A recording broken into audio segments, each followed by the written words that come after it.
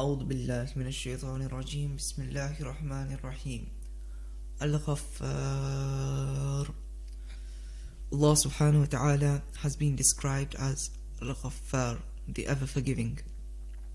Subhanallah, this is the 14th name within the Asma'ul Husna and it describes the fact that we are how we have been sent down on this earth to obey and to pray to Allah subhanahu wa ta'ala and obey his commands and follow his message yet we always sin but Allah subhanahu wa ta'ala is always forgiving us he is always covering up our mistakes I pray that Allah subhanahu wa ta'ala his forgiveness. I pray that Allah subhanahu wa ta'ala, through His forgiveness on the day of Yawm al Qiyamah, He allows us to enter Jannatul Firdaus without our deeds being questioned and without Allah subhanahu wa ta'ala punishing us. Ameen.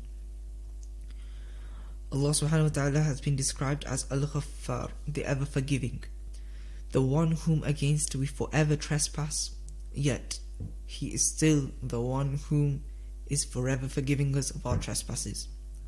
It has been said that whoever recites the name Al Ghaffar, meaning the forgiver or the forever forgiving, the person who recites this name, his sins will be forgiven, inshallah ta'ala. I pray that Allah subhanahu wa ta'ala forgives us all of our sins.